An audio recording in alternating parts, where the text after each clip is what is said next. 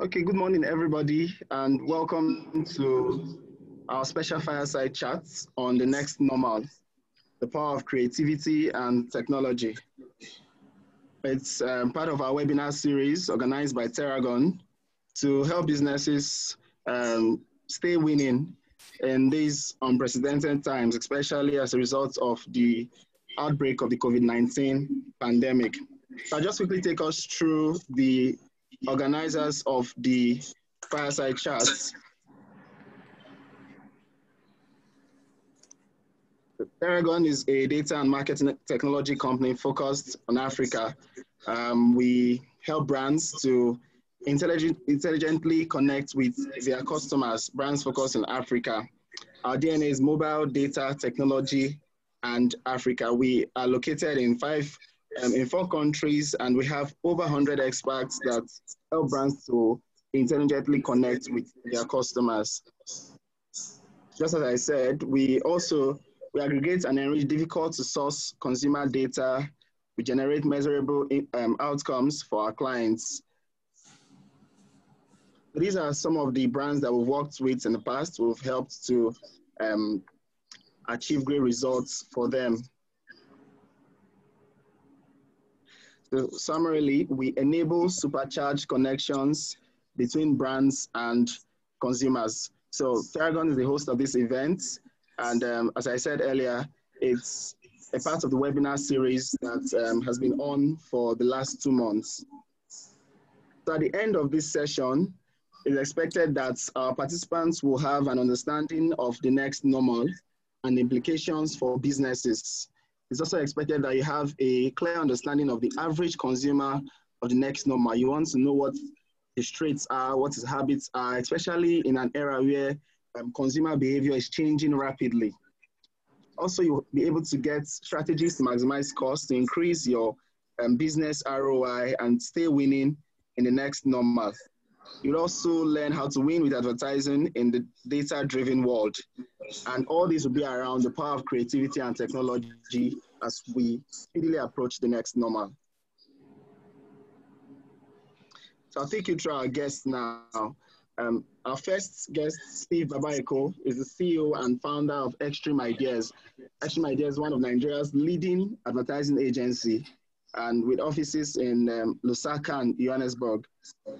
Steve began his advertising career at MC and A Saatchi and Saatchi, and later moved to Prima Garnet Ogilvy, and then to 141 Worldwide, now Nitro 121, where he was creative director. At 141, Steve did a lot of great work that made the agency trend for many years. He has over 23 years worth of experience in Africa's creative space and is renowned for creating some of the most iconic marketing campaigns on the continent. So if you know the um, Proudly Nigerian campaign by British American Tobacco, um, Etisalat, now you're talking, and then Diamond Banks, you need a new bank campaign, then you know that Steve Babaeko is the, the brain behind those campaigns. Also on the global stage, Steve has been representing Africa very well. He's been a member of the jury at the New York Advertising Week, the Loeries and Crystal Awards. He was also been a speaker at the Cannes Festival of Creativity. Last year, he was listed in Adweek as one of the world's top 100 creatives. Steve is also the current vice president of the Association of Advertising Agencies of Nigeria, AAAN. Elo Umeh is our second guest. He is an entrepreneur who has worked in mobile and digital media on the African continent for over 15 years. Uh, he has gained valuable experience in different countries in Nigeria, Ghana, Kenya, Cote d'Ivoire, Uganda, and was also a part of the founding team that grew a mobile technology startup and took it public in Nigeria. Elo has consulted widely for various organizations in the telecom and banking sectors, including World Bank, International Finance Corporation, on development of rural telephone initiatives, mobile payments in West Africa, and deployment of many new products. Elo is the founder of Terragon, the host of these events, and he's also very passionate about um, leveraging the unique ways Africans can use mobile devices to intelligently connect brands to their customers. Elo is very big on intelligent connections with brands and their customers. He holds a global executive MBA from IESE Business School. He graduated as the best student of his class and made the school's 40 under 40 entrepreneur list in 2017. He's been in founding and leadership roles with the Mobile Marketing Association Nigeria and Internet Advertising Bureau West Africa. So as I said earlier, this is a fireside chat and it's going to be between Elo and Steve. So I'm going to hand over to Elo now to um, continue the rest of the event.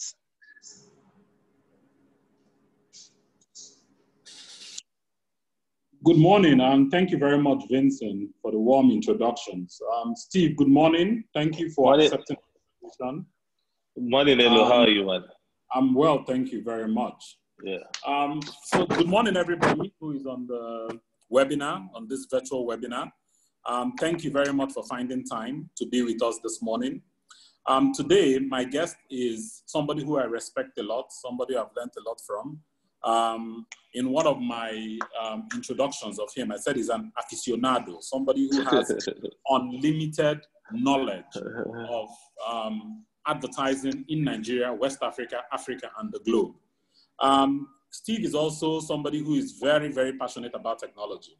Um, I have been attending the Mobile World Congress for the last, since Terragon was founded, and I think that I have always had dinners with Steve at each of those um, at the Mobile Absolutely. World Congress. And I wonder Absolutely. how is a creative mind always at these um, at these conferences. Um, before we even go to that, um, Steve went to attended university at uh, Ahmadu Bello University in Zaria. He is from the Middle Belt in Nigeria, Kogi State. Um, he has built his professional competence in the South, so he's a well-rounded Nigerian who understands the different elements of culture, and that is a big input into creativity and telling stories. So we would like to hear a lot um, as this, you know, we all know about the shock that has um, happened globally over the last three months, and people are wondering, what is the next thing? How will things evolve from here? And um, we wanted to, we thought that everybody's talking about digitalization, everybody's talking about the power of technology. However, we know that the traditional elements of how things are done, stories will continue to remain stories. Stories will be a big element of that. So how do you gain people's attention? Um, screens are now, people, one person has five, three, four, five, six screens. Um, how can we leverage um, storytelling and the, the democratization of technology in this newfound or accelerated move into digitalization and the use of technology um, to, to, to gain people's attention. Um, so that is, that is one way, that is a perspective we would like to hear a lot from, um, from Steve about how he thinks about it. And I will maybe chip in a few things here and there about how we are thinking about it as well at Terragon and maybe um, from a technology perspective globally. Um, so Steve. Hi, hello. Yeah, do you have any opening remarks before I get it? I try to take a stab at the first. Uh, Thank you so much, Elo. You're so kind. You're so generous with your introduction as well. So at some point, I was wondering, is it me, Elo, is describing or someone else? I was actually looking behind me. You know, thank you so much for your generosity and your kindness. I mean, the thing is, awesome. for me, is uh, I've always seen as a as a young creative, and as I got into, uh, I've always seen that storytelling is always going to be part of the core essence of who we are as creatives. And then as I as I continue to advance my career and the, with the emergence of tech, I now realize that I think at some point, maybe about eight, nine years ago, I told some people that in the future of creativity is going to be driven by engineering. I, I, I remember telling some of my colleagues then, and I, I think for some of them, they didn't get it. There's a lot of tech input into our storytelling ability now that now gives creativity more bigger wings to fly. So I, I mean, and what what COVID nineteen has done is just to basically bring forward all of those things we used to say, oh, this is the future, it's going to happen in the future, in the nearest future. COVID 19 just went and just zoomed everything and back forward and backdated everything. So we are having to deal with some of the things we thought we were going to be dealing with in another three, four, five years' time today. So I'm really, really excited about this conversation and how to to to to just shed more light on the topic. Fantastic, Steve. Thank you very much for that insight. Um, yeah. So, so we, we, we, we are seeing an obvious, um, there's an obvious trend um, that is currently going on. Um, I haven't been to the office in about 11 weeks. I think you would um, share similar timelines. Sure. And, um, and what that, the impact of that, when you go out nowadays, it's a rarity to find traffic on the road. so there's a shift in customer interaction. Um, our day to day life has changed forever. How would brands um, in, the, in Nigeria, in Africa, how, um, how would they find new ways of engaging? Um, I've, I've had several phone calls from out of home vendors, um, that's outdoor media. Um, yes. You know, now billboards were a very strong platform what are you, what is the, what are, what are the, what, what kind of innovation um, with the changes in, in customer interaction, in the way we live, in the way we consume media? Hello, hello. yes, can you hear me? Steve, can you hear me? Yes, I lost you for a few seconds, but I think you're back here. Okay, sorry about that. So I was just yeah. asking the question around with the change in customer interaction, how yes um, could how can brands start to leverage these changes? How can brands engage more intelligently? How can the power of storytelling be adjusted if it needs to be adjusted? How can it be distributed more effectively? What kind of insights can you share with us? Well, I mean, thank you so much. I mean, if you look at let's even let's even roll back the dice a little bit to the beginning of the pandemic. What it basically deal the, the blow it dealt the brands is similar or is different, slightly different from the blow it dealt the consumer. So we're all battling with different issues within our space.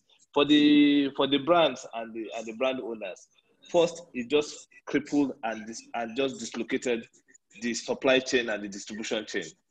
So if you are if you're used to getting raw material from the north, with this in, with interstate lockdown, how are you getting your raw materials? And it's worse if you're getting your input raw materials from imported. The borders are closed. The, the, the, everywhere is closed. So it, that that first happened. And secondly, if you are used to moving your stuff from home to move to Kiali for major distributors to now uh, distribute to maybe small, smaller dis- wholesale distributors and then to retailers, that distribution chain is already crippled. So you see, all of a sudden, we found ourselves in no man's land, up the creek without a paddle, like some people will say. And then for the consumers, you're used to being able to wake up in the morning, plan your day, oh, I'm going to go home, and you're going to work. Uh, there's this thing they call drive time on radio. You switch on your radio and you're listening to brand messages, and then you come back late in the evening, and then there's also the, the prime time for you on TV. All of that is gone out of the window. So basically, it's we were all just scrambling. We found ourselves in a new territory, uncharted waters, and it was very difficult. But I mean, like I've had cause to speak uh, at different for, forum with uh, uh, on similar topic to say, look, if you look at the out of home industry, again, they got dealt a very big blow as well because all of a sudden in February, the value you were getting for the out of home board you put on third mainland is zero in March and April because nobody could go out. I mean, it's when you go out there you can see the out of home uh, message that is there. So it, it's become really, really difficult. Now, what brands quickly now did was to pivot a little bit. And now, uh, for some of the the guys who are like maybe uh, the Jumias of this world and all of those other guys who are into that uh, space, and they, they, they, they've been groaning and not doing so well, all of a sudden, that space became more important because you had to do online distribution and all of the online stores and, and, and markets became a veritable place for cl- clients to move their product to, for consumers to be able to now order. If you say, I can't go out, then maybe I can go on Jumia or any of all of those online stores to order stuff that I want. So, and in terms of the messaging, it became very more important now to move your messaging to where the consumers can see so because what the what the clients are forever looking for are eyeballs, just eyeballs to see the messaging that we have carefully crafted for the consumers. So if online is not going to work, if uh, out of home is not going to work, online became the place where you you drop your messages. So you saw that with all of the brand influencers, they had more work to do. They had more brands now talking to them. Some of those guys are sitting on three, four million uh, followers on Instagram, for instance. TikTok became very heavy. People just were looking for ways to just get uh, their opportunity to see. I actually had a client of mine that I collaborated with. I mean, I'm stuck at home with my family. We weren't going anywhere. Uh, Peak Chocolate, Pick, Cho- Peak Chocolate brand uh, had to launch. And then we said, look, why not? I mean, we can shoot a commercial for this line, commercial in quote now. Um, luckily for me, my wife had gone to uh, New York Film Academy uh, about two summers ago, so she had learned uh, camera work and editing. We sat here in my house with my kids, and we knocked this thing off, and we supported the client by putting it online. And it's actually, I, I, I saw the engagement online, and I was very impressed. So those are the new ways that consumers and, and, and the clients and, and brand owners are beginning to to to to to use to get uh, interaction and mileage with being able to push their messages to the to the consumers. I don't know if that answers your question a little bit. It does. It does. It does, Steve. And I think that the anecdote um, around your family and peak is one that we can ride on a bit more. Yes. Um, so you talk about um, lockdown, no shooting of commercials at all. Out of home, um, peak time is no longer peak time because it's now no. around the clock. Yes. So when you think about it, you you you know that's innovation right there. You Absolutely. put your family together. Peak chocolate is a family drink. It resonates. So are we now saying that storytelling, media, and all that is now decentralized? Anybody who has a following that fits to a target audience can potentially be both um, a story can be crafted around that person. That, that person can be a distribution outlet. That as far as that person is online and connected. Is that absolutely, is that absolutely, to? absolutely, Elo. You know, and since the advent of digital, and since where uh, cameras now have now become part of uh, this device called a, a hand phone, Yes. I mean, there's been democratization of storytelling. So there's usually it used to be, oh, uh, there's this production house somewhere. They are the experts, and there there will still continue to be room for all of those kind of high end production that needs those experts. But we're just saying that now storytelling is not the exclusivity of any set of people. Anybody with a handheld phone can tell the story. And I'll give you another anecdote. When in, with all of the lockdown, George Floyd got killed some passerbys who were witness to a crime took their cell phone, recorded the story, and they put it out.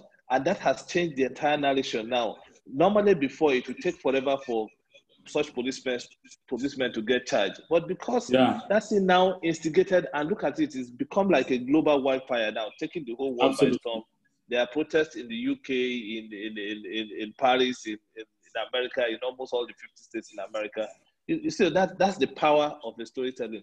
That story, that about that clip, that short clip, video clip, was so compelling that even the most hardened of racists had to sit up and say, "Well, I'm, I'm not sure this is right." You know, that that's what we're talking about here. Fantastic, fantastic. Thanks very much for that. Thanks very much for yeah. that. So, yeah.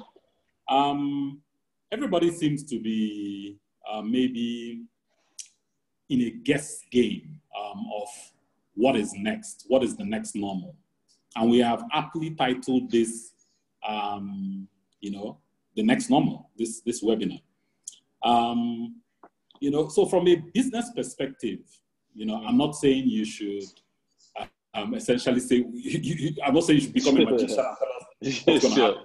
Um, but, you know, somehow, as they say, they say it, it's really your experience kind of like um, fuels your gut, and most times you come out with you know very very strong, um, very very strong projections of what could potentially happen. What are yeah. you seeing? What is your opinion of how things will look six months, well, twelve months down the line? Well, the, the thing is that there's this saying that the only thing certain about life is that it, it moves on. Okay? So there's always going to be change. Even even right now, if you see how we have dealt with psychologically with the whole COVID-19 and the whole lockdown, you see that at various times we had our emotional state kept kept on evolving and changing. I, I, and I'll say to my to the best of my mind, when the thing happened and they say, "Oh, let's shut down," I'm sure if you ask your staff and if the people who my colleagues, there were no shortage of the people who went, "Yay! At least I, I get to have two weeks to rest." The wahala of Lagos and the traffic. Let me just go and chill and rest a bit. That was the reaction the first two weeks. Now, the, after that first two weeks, when you realize that ah, you're eating four times in a day, your children are eating six times in a day, the food is getting consumed faster.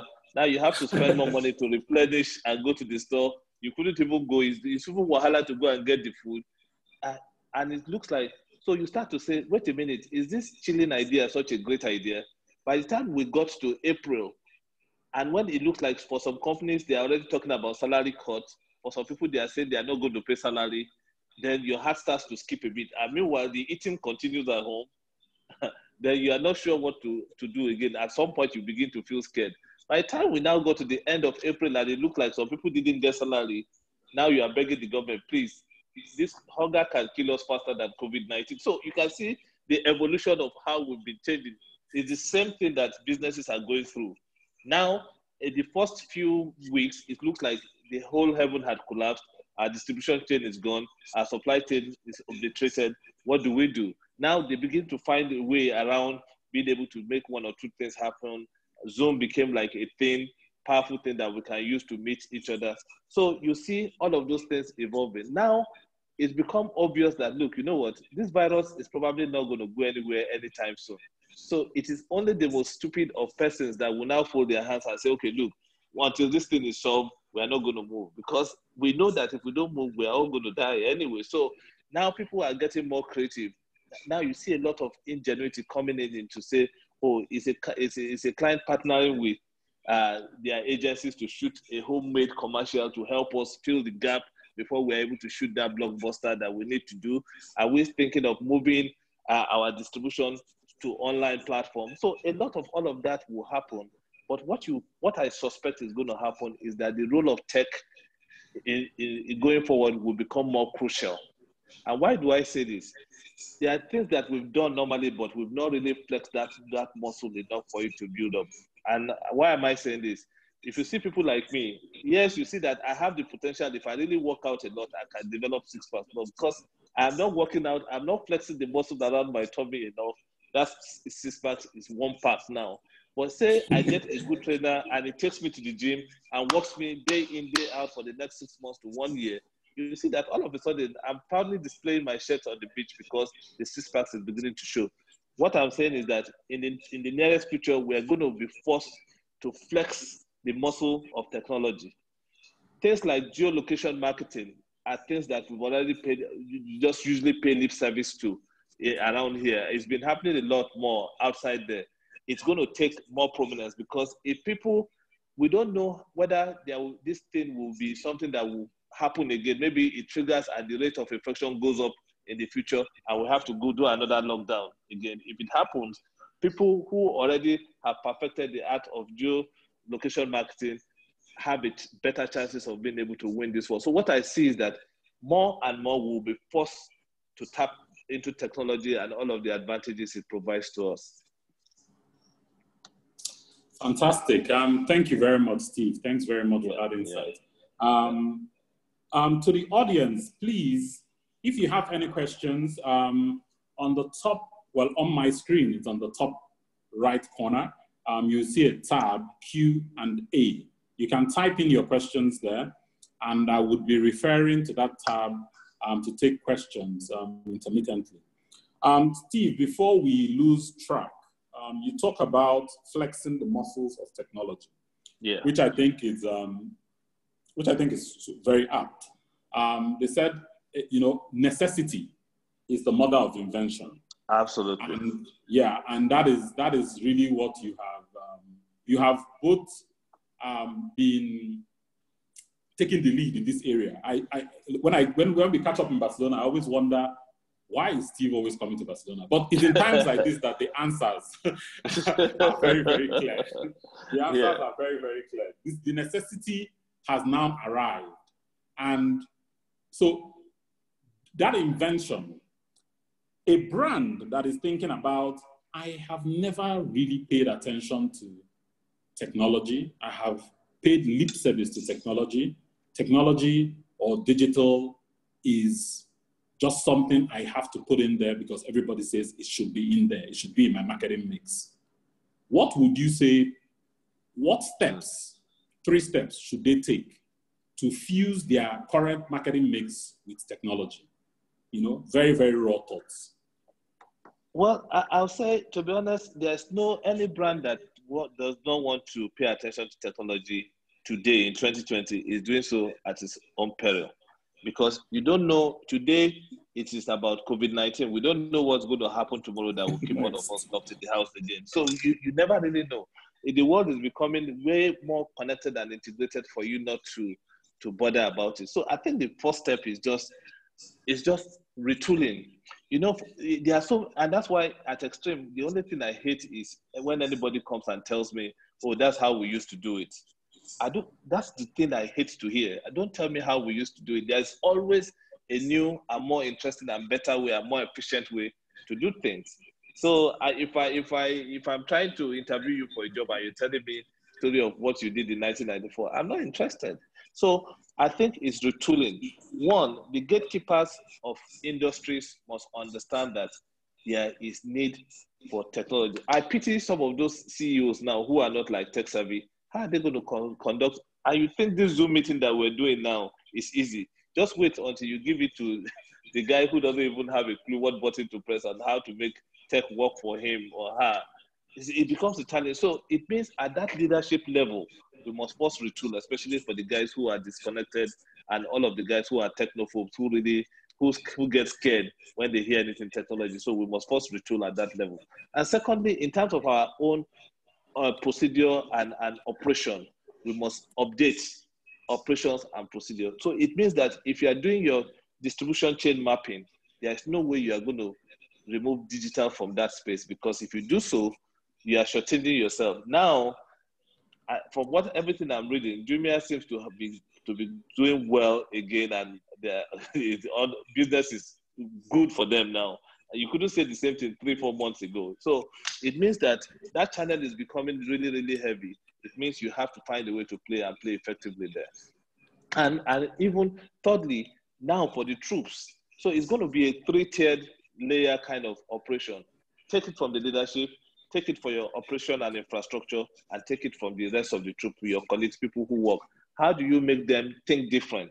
Because automatically the way we were conditioned to think before COVID 19 is all about brick and mortar, all of the things we can do in normal trade and channel and other touch points. And well, those ones are good. We know that we have mastered that, but how do we now overlay digital in all of this to keep us up to date? I think if we take it at that three tier and we and we and we do it very well, uh, we can begin to see uh, difference in our operations. Great, great. Um, we can't lose sight of um, the key, um, the key target in all of this. Mm. Mm. Um, the key target is the consumer, you and I. Yeah. And um, the last three months has presented us with very, very um, significant challenges, and that we yield new traits, that we yield a different set of habits, that we yield the output of that will be behaviors that sure. we have never really seen before. Um, how are you positioning your thinking around addressing a creative message to this new type of consumer with it in this well, next normal? The, the, the thing is that the next normal still, whatever happens in the next normal, you are still going to be dealing with human beings. Human beings, we, we evolve and change once in, in, in certain aspects of our habit, but the, at, the, at the core of our being is just that human. We, we, we can feel, we have emotion, you have something you can connect with. And at the end of the day, it's just well, no matter where our psychological frame of mind is at any point in time, there is still that that part of us that needs connection. So whether it's new normal or old normal, what will be central to what brands must continue to do is find, forging some kind of psychological and emotional bond with the consumer. That let's just uh, establish that from the start. But having said that, you realize that now the consumer you are dealing with is different from the consumer of 1980, 75. Detergents in 75 or around 80s, in the 80s when I used to watch uh, New Masquerade, uh, my, my dad was in the army. We lived in Owerri. Yeah, so I used to follow him to the sergeant mess and watch New Masquerade. It was a big thing in my house. So when we go there, we watch and I, and I see all of those uh, commercials about detergents. To tell you how they used to look down on the consumer, they will tell you, uh, take a scoop of detergent in your hand, put it in a bowl, then shake it very well so that the leather, leather can as if the consumer as if the consumer is such a moron, they can't figure that out. You know what I mean? So, but yeah. what you find out about the consumer today is that the consumer of today is way more informed.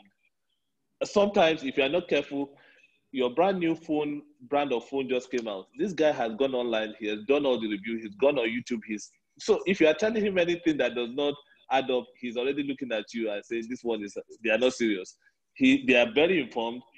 They are tech savvy you see, they, they are ahead of the technological curve that the, the brand, before the brand owner and all of the conservatism that rules some of them sometimes, before they get there, the consumer is already there. So, okay, and also they genuinely care. Some of the, a lot of them genuinely care about issues of climate change, about issues of value.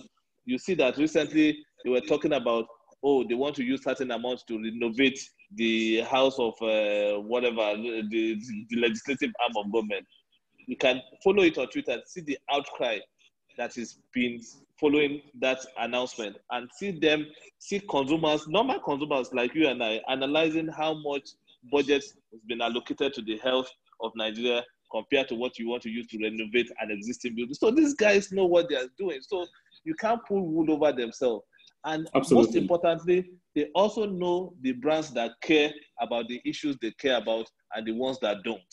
So today, the best way to connect with this is just find a way to be part of their conversation because you can't control their conversation. I tell what I tell my clients all the time is that just search for your brand on Twitter.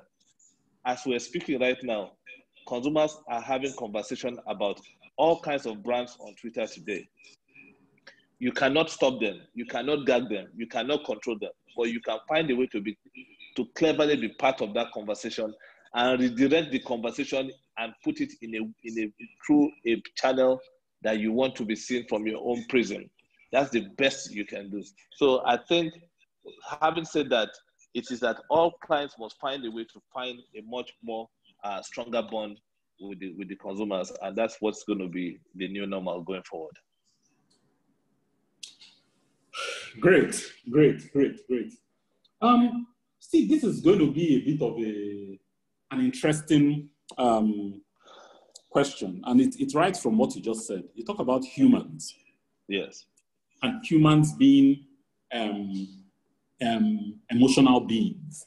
Absolutely. And connecting to that bond, mm-hmm. right? And mm-hmm. then there's on the flip side of that, when we talk about um, power of creativity and technology. Yes. You know, some people talk about technology will take over what humans are doing, blah, blah, blah, blah, blah, mm-hmm. right? There's that, there's that whole argument. Mm-hmm. But technology in of itself has zero emotions. It's really what the human tells mm-hmm. technology to do. That's what techno- that's the output technology brings up. Absolutely. So I would then say that an element of creativity, right, or power, the power of storytelling somehow could potentially be fused into that process could potentially be fused with technology. And mm-hmm. maybe to be to reach the consumer in this next wave would require the power of creative minds to harness technology as well. Are you is that is that what you are alluding to? Because it's not very clear you know? Okay what i can tell you uh, Elo, technology yes. will come technology will go okay Fantastic. Uh, media space, new, old media will become, or new media will become old media, and then another Absolutely. new media will come.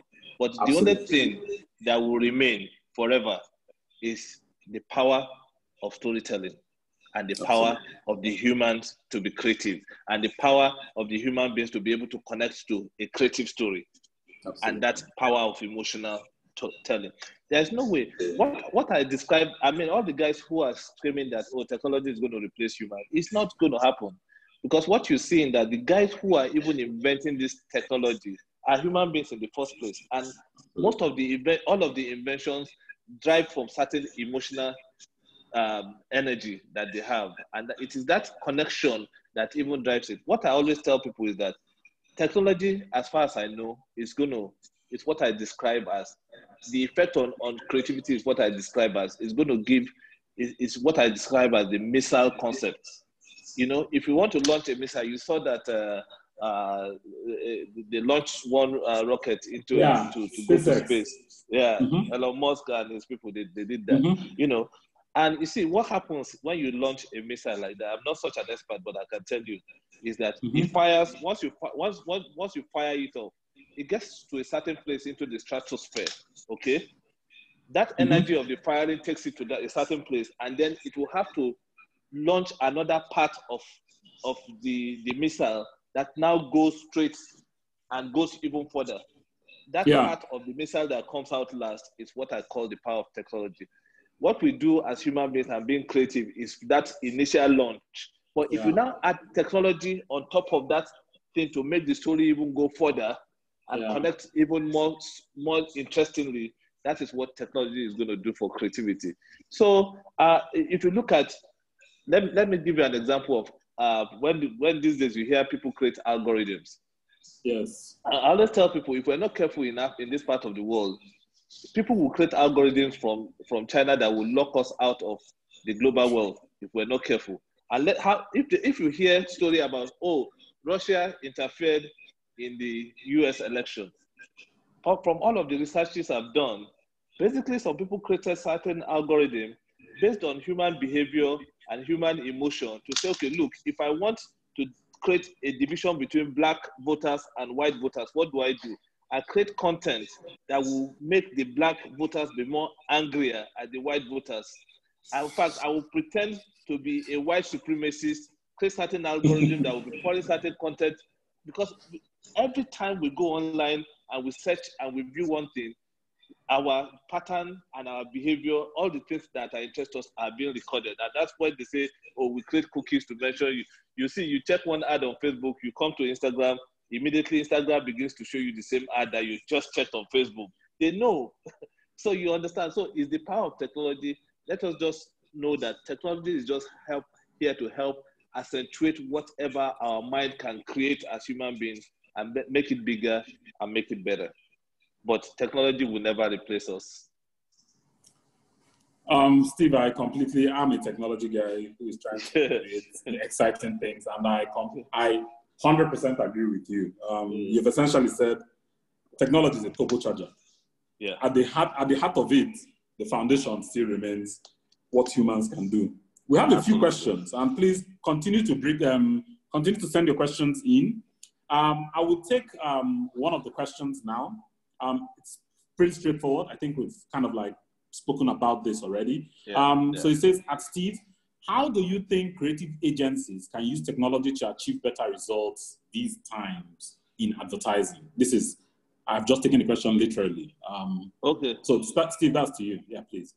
Well, I mean, thank you so much. It's a very interesting question, and it's what, uh, as the vice president of the AAA, and I, I always try and encourage my my colleagues. Charity begins at home. You see, because what you find out is that for most agencies in Nigeria today, quite a, a number, I won't say most, quite a large number, they don't, they still haven't gotten into that groove of saying, look, you know what, we live in a different world now. If you still want to do the things you used to do like 15, 10 years, you're already late to the party. So technology becomes a veritable tool. And how do you even begin to take it from the lowest hanging fruit because normally when people talk about digital, the first thing they say is social media. Social media is just like a spit in the ocean in the whole digital universe, right? But let's start from there. That is the low, lowest hanging fruit. How many agencies have digital footprints starting with their social media presence? So sometimes when you see me, I'm active on social media, I really want to do stuff. It looks like, oh, we don't even understand what Steve is doing. I'm, I'm, I'm getting used to the tools. I'm seeing the power of what this thing can do. I know what, even from in my own little space, I know how to engage my followers.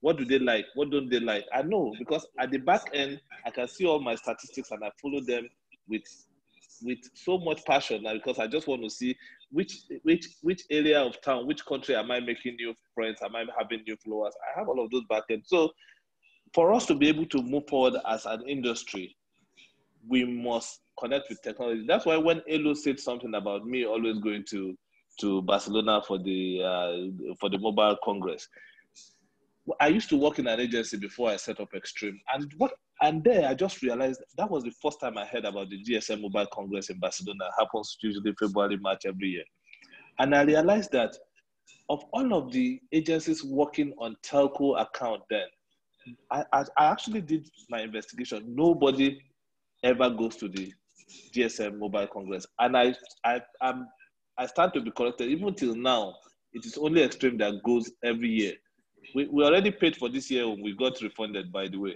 you know, because it was cancelled. And I always ask myself then that why, I mean, this, this doesn't make sense. If GSM Mobile Congress is where the future of telephony and tech is being discussed, and the clients always year in, year out, they go for this conference, but the agencies don't think it's worth investing on. So if the client comes back, are you going to sit them down to start to download everything they just learned? And so you are forever behind the client in terms of where the future of of of uh, GSM of mobile is going. So I felt that look, the moment I set up my agency, I will always be there. So I'm I'm always part of it, and that is one area I say agencies have to like be able to.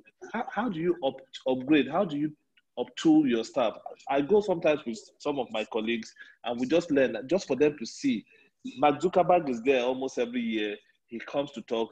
He's telling you about what they are doing in their partnerships with mobile phone companies across the world. So basically, from our operation, from our day to day, and now thank God for like stuff like Zoom that has become like part of our daily life now. I told my team, never again are we going to have any face-to-face meeting in that office again? Never, unless it's an emergency that we can't help. If not, see, if I'm here now, my video is not on. If I have an email to respond to a client or just to respond quickly, while I'm doing this, I can still multitask by saying, uh, yes, I, will get back to you shortly. I can send that instead of me waiting for one hour after this conversation is over before responding. So I'm saving time. Our operation is more effective look at all of the tools. Is there any tool from SAP, from anywhere else that we can use to make our operation better? And most importantly, I'm going to close on this particular question is we must find a way, and this goes to uh, Elo and Terragon Group, we must find a way to localize, localize some of the big uh, tech tools that we use for our operation. I'll give an example stuff like being able to just gather data, research about uh, campaigns and how they are connecting with people. You, you, you have to use tools like MediaStar and all of those other stuff that will help you and do the, all of the, your campaign analysis. We're going to a place where, God forbid, if this economy goes into recession, uh, how many agencies will be able to afford to pay for subscription of those tools? But here we have technological technology companies that can afford to look and say, okay, look, how do we make a Nigerian version of those these tools that will still be able to add value to the lives of our agencies and make them be able to perform effectively as well. But the difference is that they will now be paying in naira as opposed to subscribing in euro or USD. So I think this is food for thought for us, for all of us, uh, as far as this question goes. Steve, that was very, very useful. Um, yeah. And I take up, I will take up the challenge immediately. Sure, um, sure. We, we are thinking a lot about localization. Yeah. And this is where um, Terragon's enterprise software, um, specifically the, the customer data platform comes in. Mm. Um, you talk about, you made some, you alluded to China being able to write an algorithm that will lock us out. Absolutely very, very valid point using the yeah. power of machine learning and stuff sure. like that in this market today, borders are heightened. You and I have been here. We haven't been able to go anywhere. Mm-hmm. We have an enterprise software tool that can go into every company. Those companies put in their customers' data where they and they have collected, they have, they have received consent from those customers mm-hmm. into this enterprise software tool. With that, we can enrich those profiles and tell them the behaviors of each of the people in that mm. enterprise software tool. That way, mm. we can have maybe 10 different, um, 10 different um, versions of mm. a creative that can sure. be sent out to different people. And mm. as we get real-time feedback, they will be in the organizations yeah. Looking at the screen and seeing real-time feedback on the adoption of each of these creatives. And that way we can dynamically as well adjust how we are communicating with the customer.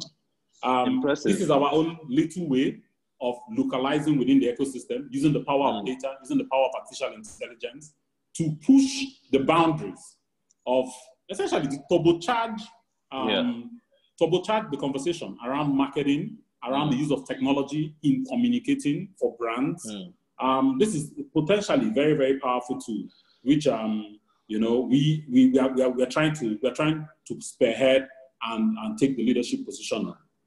I, I think, Elo, if I can ask, I think we you need to speak more, especially to the AAA. And I'll, I'll look for an opportunity where the AAA has a big gathering so that you can come and speak around this thing. Because you see, the, if, if we, the more people know about it, the more we can actually use it. Because we really, we, the industry needs help. We need we need our people, we need our tech guys to now. This is the time for tech guys to come to the party and really, really help us propel. And because I know we can do it. I know we, I know we can do it. It's not Absolutely. because of the shortage of the manpower or the brain power. So we just need to, to harmonize more. Fantastic. Um, Steve, it, it doesn't have to be a big gathering, please. It can be a very small gathering because I, I also have to build some following within the AAA organization. Sure, big sure. trust body. So it can yes. be a small workshop with the tech committee. Okay, all right. There. All right, sure. Please, it doesn't have to be a big one. Um, right, okay. Steve, one more question. Um, we have a number of questions, but I'll just take one more because in the, in the due to time. Yes. Um, this this says, how do indigenous businesses or how can indigenous businesses managed by owners in mm. bracket Igbo trading system utilize mm. the new way of marketing via technology? Well, interesting. Uh, honestly, if you look at, I'm a big, big fan of the Igbo uh, trading system, you know, the apprenticeship scheme. Honestly, yes. if if I have anything to do with power in this country in the in the future, that's the first thing I'm going to adopt. Because see, look at the the this the let's go back to history. Yeah, and I know they've cancelled history in school, so most of the young people don't even know the history of this country, you know, which is sad. But look at the history. A, a whole generation of people from a certain group of this country. There was war, a lot of people died. Uh, businesses were forfeited and lost. They came back. They had maybe 20 pounds or something. I don't know how much everybody was given. I, I don't know accurately how much it is now. But they, they built it back. And now they are at the heart of commerce in Nigeria again today. Please, a round of applause for my Igbo brothers and sisters because see, it's not easy. it's not. It's not. It's not easy. It takes a level of a perfection, and it's not about individual. It's about, this about a system of apprenticeship that makes you say, okay, you take this guy from the village, bring him to the business. He finishes his apprenticeship. You set him up in business. He takes another person. You create wealth. You, you're creating wealth. So now, to the issue of overlaying of technology, that is just the, the, the, the part. Maybe, and that's why you find that maybe it's just for the guys in Nigeria. Maybe it's for the Omata guy and the other guys in Alaba, and uh, maybe for a chunk of them. Because you see, the Igbo businessman also is one of the most traveled people in this country.